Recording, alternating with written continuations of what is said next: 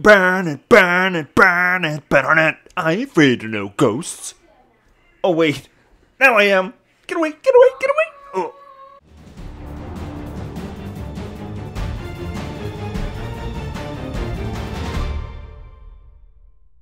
Howdy, folks. My name is Richie, aka Bogotter, and I am here with an Ascalonian Catacombs dungeon revamp overview. The Flame and Frost patch A Gathering Storm, which is the February content update for Guild Wars 2, has landed, and they have revamped a lot of the encounters in the explorable mode paths of this dungeon. So I'm going to go through uh, my impressions and my opinions and, and some of the overall changes, so let's get to it. We're going to start off by going over all of the things that are consistent between all three explorable modes. So we're going to cover the encounters that you will do uh, in all three explorable mode paths. Now the first is the Queen Spider and you will notice first that you cannot skip this boss any longer. And it is a much harder fight overall. The poison patches that they put down uh, is much more deadly. She has this new frontal cone immobilized, at least the graphic part of it is new, so you can get stuck in place and if you get stuck in a poison patch, it's really bad. It's still still behooves you to kill the little spiders before you engage the boss, take out as many of the gargoyle traps on the, on the walls as you can, and make sure you have a lot of condition removal. Overall, I wish this encounter had a little bit more variety to it since you do encounter it in all three explorable mode paths. Some new mechanics to avoid, some different types of ads, just something to kind of spice it up a little bit. In general, this encounter is much more difficult than it was before, and, and that's a good thing, but it might prove a little bit too challenging for some low-level party members.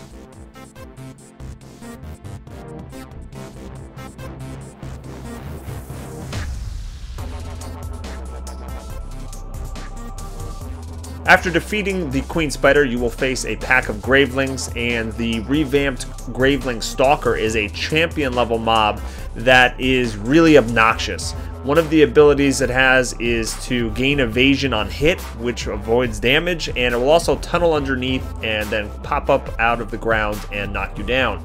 It's very obnoxious to fight this. You will spend half the time not doing any damage to it, and it has a lot of health, so it is a kind of long, drawn-out fight. The good news is now champion level mobs will always drop blue or better loot, and uh, we, we, we found it fun to kind of nickname these guys Blues or Better. So, hey, you will face these several times, but hey, at least you'll get Blues or Better.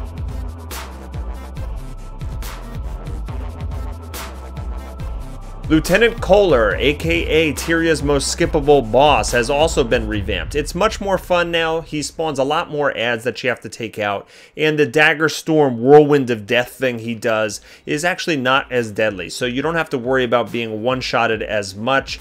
He is still very skippable, you don't have to do it, and he is available in all three uh, explorable mode paths. But we found the, the event much more fun to do, so hopefully players won't skip him as often.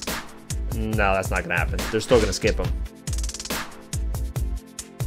Okay, let's see. What are we going to cover next? Oh, Troll in the dungeon. Thought you ought to know. Yes, the cave troll is back and he is bad. He is mean. He has several new abilities that'll prove challenging. He can fear you, and yes, he can fear you right off the cliff and take you out of the fight for a while. He will do a leaping smash where he jumps up in the air and then he shoots out projectiles when he lands, so be ready to dodge. And he also shoots lightning bolts. Come on, guys, this is a cave troll throwing lightning bolts. This is crazy stuff. He also has a ton of health. You know, a, a, lot of the creatures in this dungeon have had a reduction in health, which makes the fights not seem as just like, you know, uh, mind-numbingly boring. But this fight definitely feels too long by a bit. Uh, it is a tough fight, and uh, he still does spawn in random locations. Let's take a look at our first Explorable Path specific encounter. In Explorable Path 1, you will defend Hodgins while he researches the location of the first Flame Scepter, and there's a whole bunch of Graveling burrows you have to deal with while he's doing that. I'm typically the one that stays back and defends Hodgins, and I found it much more difficult now. The Gravelings do knock you down quite a bit, and they also seem to have some sort of cleave, or, or they just seem to attach themselves to Hodgins much easier. In the in previous incarnations of this uh, dungeon, I was able to stand on Hodgins and basically, you know, beat back anything that came at him. But that actually led to him dying really quickly. So now I kind of uh, moved over to the first burrow over here and uh, fought things off more from away from Hodgins, and that seemed to do the trick. Overall, this encounter seemed a little bit harder than it used to be, but the breeders do not spawn from these Graveling burrows anymore, so that's a plus. Everything else about Explorable Path 1 felt very similar. Finding the scepter pieces worked the, worked the same. You know, you still will encounter more of those champion gravelings, and there was a lot more knockdowns around, but overall, everything felt very similar. When we got to the Howling King, things changed quite a bit.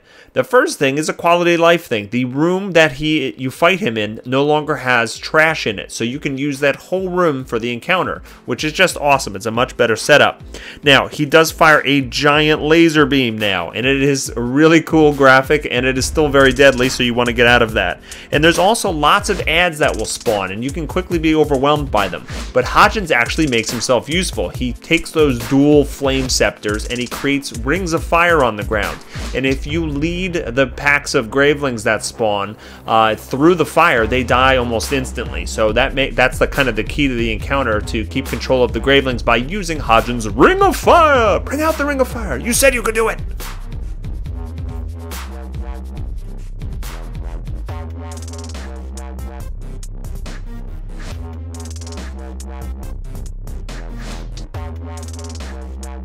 Okay, on to explorable path number two with Detha. A lot of this feels similar. You know, you will still go through the spider and the champion gravelings and all those kind of things that you have to. But when you get to the explorable path specific stuff for explorable path two, uh, I didn't find too many uh, changes up until the boss. The spike trap event felt similar. Everything else was just going along smoothly.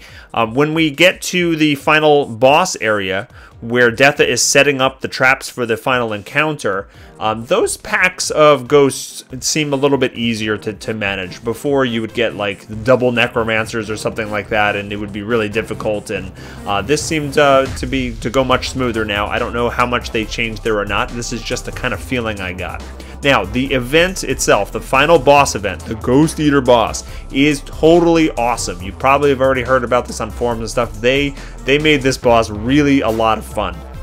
Ghost Eater is immune to damage unless you actually make it vulnerable. The way to do that is using Detha's traps. Now each of the traps needs to be charged up and you can see the power meter on the uh, right hand side of the screen with a tracking meter. The way to do that is you have to pick up these anti-spectral ordnance guns which are basically Ghostbuster, you know, ghost packs um, and you need to hit number one to actually levitate one of these ectoplasmic oozes. And then another player has to press number two to draw the ooze in. And you have to use positional awareness to actually get these oozes to float over the traps, which helps charge it up. Once you charge the trap fully up, you got to lead Ghost Eater over one of the traps and you will make him vulnerable to damage for a brief period of time. It takes a little bit to get into the groove and coordinate with your allies, but once you get the hang of it, it's a lot of fun. And one of the awesome things about it is a complaint that I've had for several other bosses. Once you get the gimmick, once you understand how it works and the strategy, you don't have to do this fight for 15 minutes in order to get it down. We were able to take out the Ghost Eater just by leading him over three traps, and it seemed like the perfect amount of time once we got the swing of things. Overall, this is a great encounter, unique mechanic, and a lot of fun. And I ain't afraid of no ghosts. Moving on to Explorable Path 3 with the adventures of Tzark.